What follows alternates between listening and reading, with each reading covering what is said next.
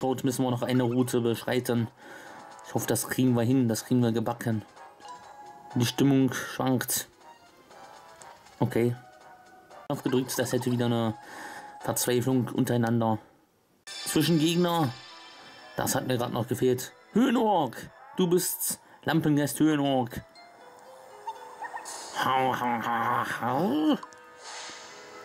Nein, Pharao. Pharao schon wieder. Pharao Höhlenorg 2. Pharao Höhlenorg 2 greift an. Kommen wir haben noch gerade eben schon ein paar Ölen und ein paar Trolle besiegt. Wir haben diese schweren Kämpfe geschafft. dann kriegen wir auch diesen miesen Pharao hin. Ich bin Pharao. Ach, das habe ich vermisst. Der Pharao-Fluch. Ich bin Pharao. Den müssen wir mal in die Ruhezone stellen. Der behindert uns nur. Kennen wir ja schon, wie das wirkt. Sich mal wieder erholen von dem Fluch. Alles in Ordnung. Sarah lässt sich zurückweichen. Ah, das ist gut. Oh nein, Blick die feuern. Solange du sie nicht kündigst, sondern nur feuerst. Dich. Blick hat's nötig. Hat's nötiger als du. Gut, gut.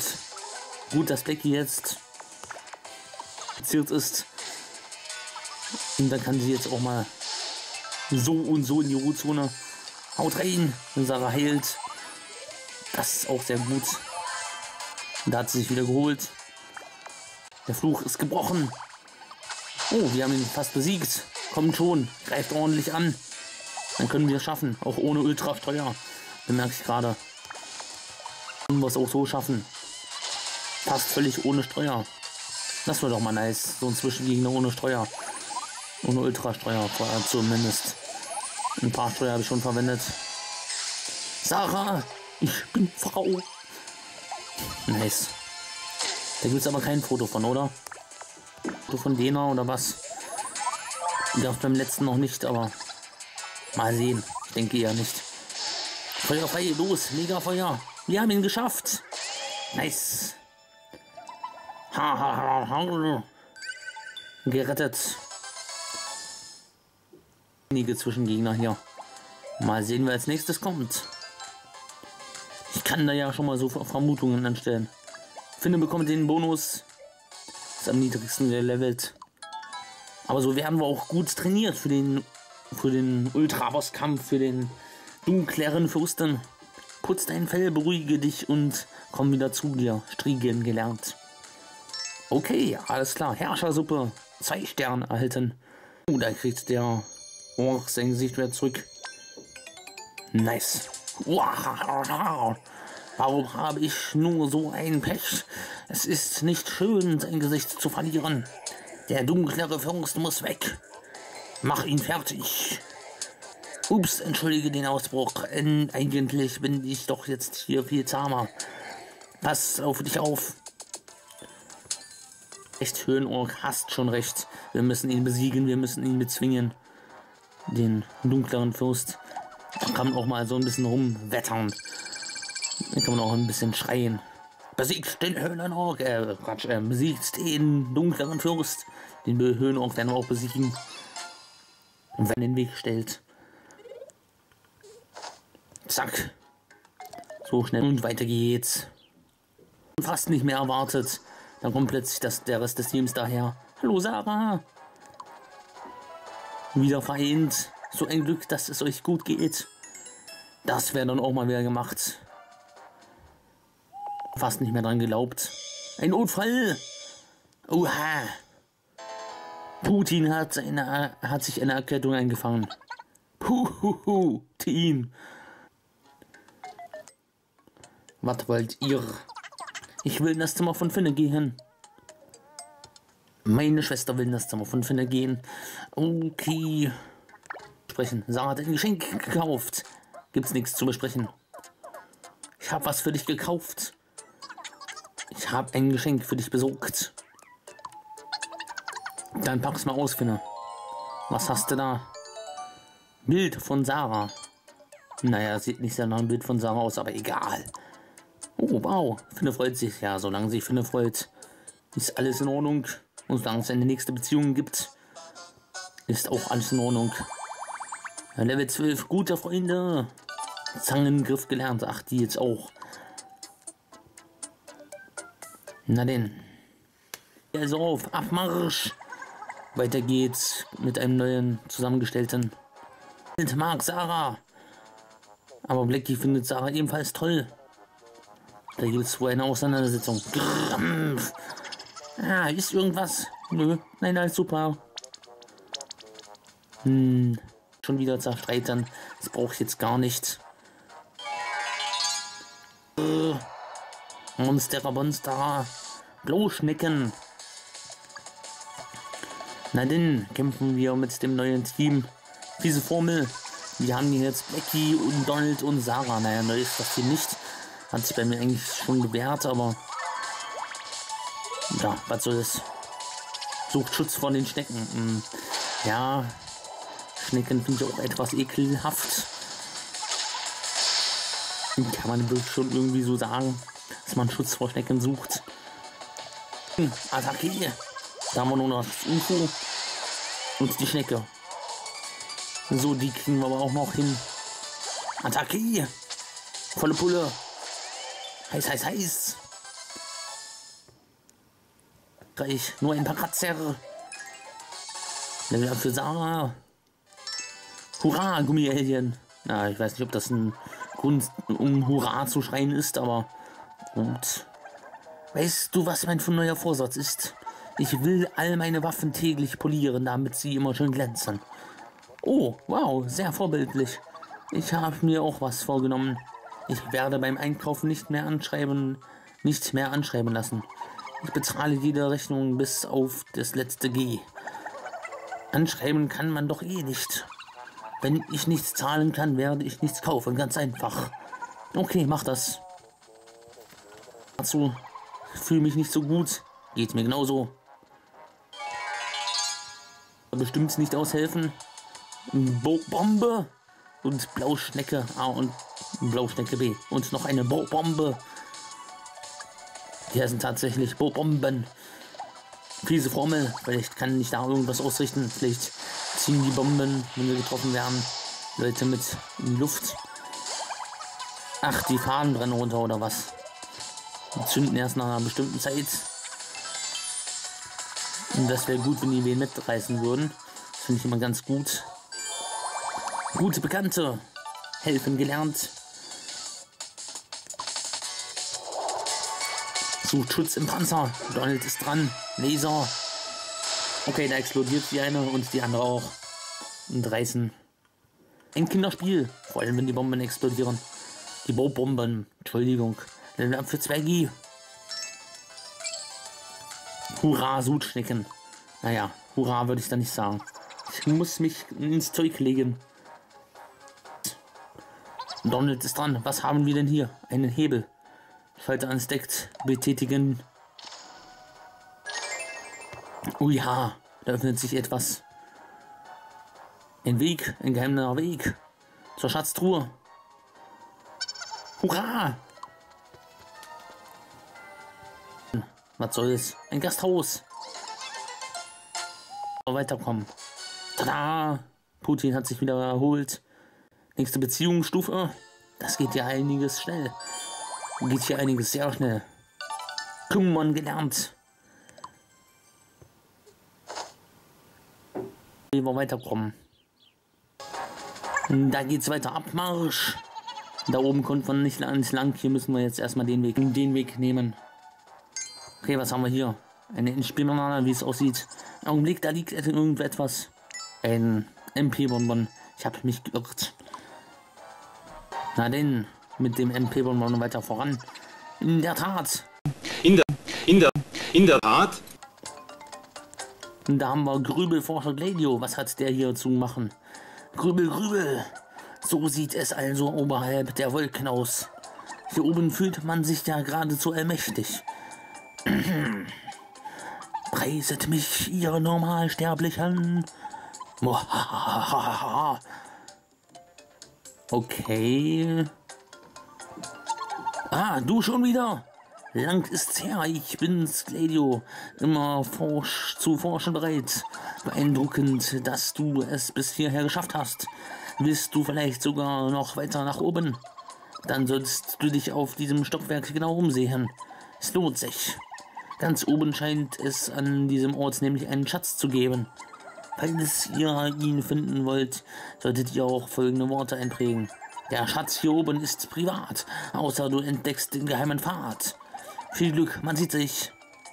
Naja, ganz oben gibt es erstmal den dunkleren Fürst. Da wollen wir nämlich hin, das ist unser Schatz. Hier gibt es auch einen Schatz. Oder eine Falle. Nein, ein Schatz, drei Spielscheine. Naja, drei Spielscheine sind jetzt nicht unbedingt ein Schatz, aber was soll's? Das Gasthaus, das ist auf jeden Fall ein Schatz. Da ruhen wir uns gerne aus. Und weiter geht es. Was haben wir hier? Öfter mal was Neues. Und eine Öffnung ist da auch wieder drin. Da können wir vorerst nicht weiter. Das sieht so aus, als bräuchten wir es, um weiterzukommen. Selbst suchen wir mal auf den Parallelwegen nach irgendetwas, das uns helfen könnte, durch das Tor zu kommen. Zum Beispiel ein Kristall. Das ist nur eine HP-Banane. Das sind drei HP-Bananen. Sorry. So, und dann kommt bestimmt gleich das nächste Monsterfeld. Nein, eine riesige Schatztruhe, was da wohl drin sein mag. Das Juwel. Nein, nur ein Herzchenkittel. Deswegen hat das Item erhalten. Ähm, ja, gut. Könnte mir bessere Kittel vorstellen. Ich frage mich, was Julian so wohl so mag. Und ein Monster. Nein, drei Monster. Gleich Spinnen. Ah. Ekelhaft. Besieg sie mit fiese Formel. Ähm. Ja, dann würde ich mal sagen. Hilfe. ja, und ich würde auch sagen, der nächste. Oh, er bringt mich zum Tanzen. Ich dachte, das ist Putins Rolle. Wir tanzen beide. Ich und Blackie. Was ich sagen würde, ist, dann geht es bestimmt nachher zum Juwel. Könnte durchaus sein, dass es gleich zum Juwel, geht. Ach ja, ich lasse einfach mal weiter tanzen. Tanzen schadet nicht. Ja, tanzt mal schön. Durch den Krieg getanzt, äh, durch den Kampf getanzt. Der Krieg ist noch nicht beendet. Der Kampf ist gewonnen, aber der Krieg noch nicht. Komm jetzt nicht mit solchen Sprüchen, Smaggy. Und was haben wir hier im Gasthaus? Kein Schatz. Schade, da hätte ja das Juwel drin sein können. Oha. Zwei auf einmal. Ba, ba, da, ba. Gute Freunde. Der gebe ich aber kein Küsschen. Der merke. Ich Werbung. Das macht richtig Laune. Hör einfach auf. Aufhören. Mit guter Laune. Hm, wah! Sarah! Sie ist in ein Loch gefallen, sie ist in eine Fallgrube gefallen. Lebst du noch? Natürlich lebt sie noch. Mir geht's gut, aua. Geht schon mal vor. Ja, okay. Wir gehen schon mal vor. Wir treffen uns im Gasthaus. Sarah hat sich vorübergehend verlassen. Wir sehen uns im Gasthaus. Okay. Okay, und weiter geht's zu dritt, beziehungsweise zu viert mit Julian. Da haben wir zwei Ölen und zwei Tarantulas. Diese Formel geht gegen alle vier. Mega Explosion. Okay, alles in Ordnung. Blackie. Panzerung stärken. Komm, das kriegen wir hin, auch zu dritt. Blackie tanzt wieder. Soll sie tanzen? Julian hilft aus. Eine Spielbanane. Diese Formel. Kommt schon, das kriegen wir hin. Nicht nur besiegt. Die Tarantula wurde besiegt.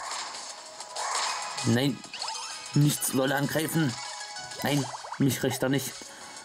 Wir Spinnen. Laser. Spinne besiegt. Zwei Ölen stehen noch. Ein paar HP-Steuer geschenkt.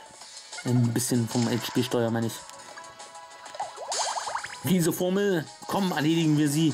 Sind nicht mehr stark. Da haben wir sie. Nicht übel, oder was? Ich hätte ewig so weitermachen können.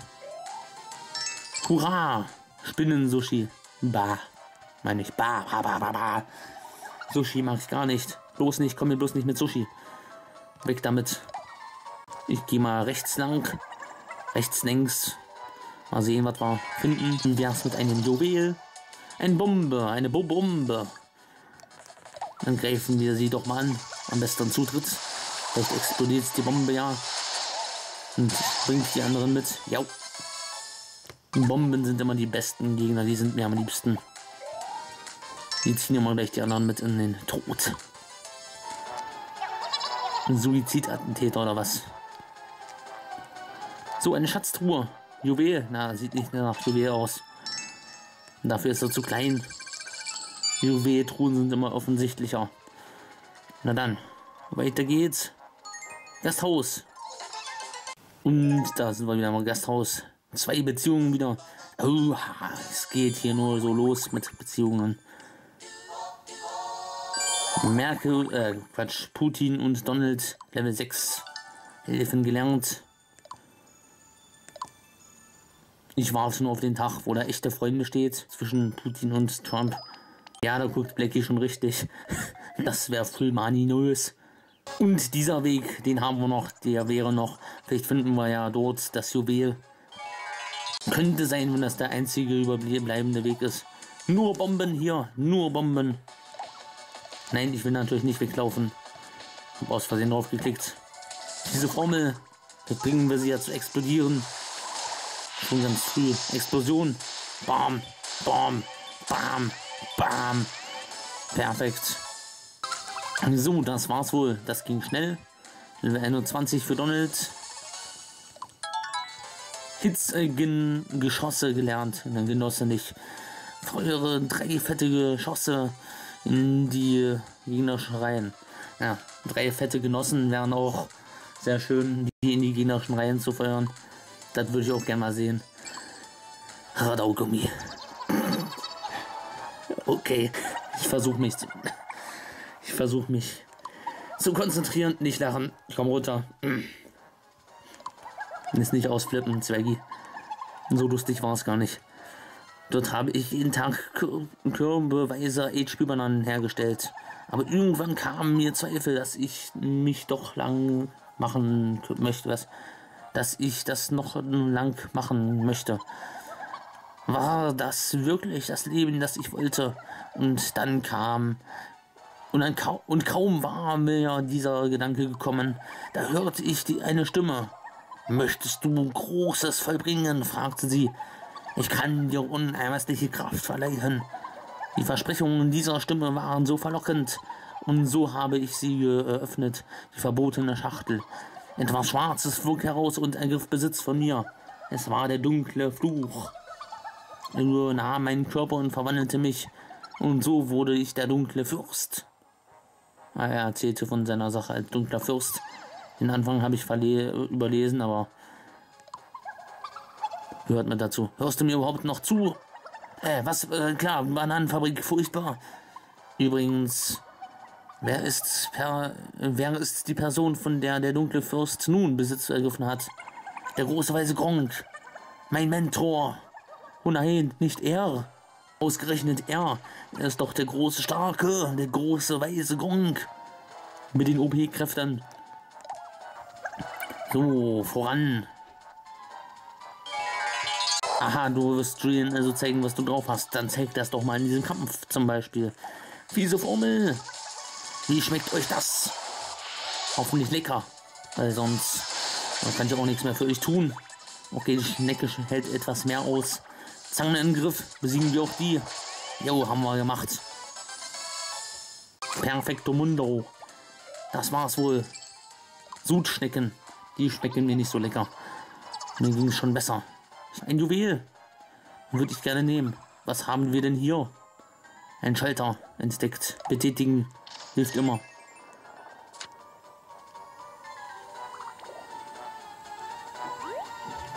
Oh, ein geheimer Pfad. Da gibt es wohl das Juwel.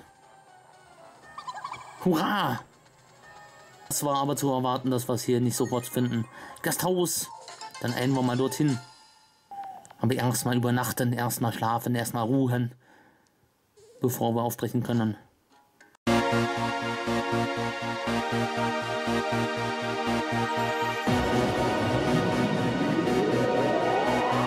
Thank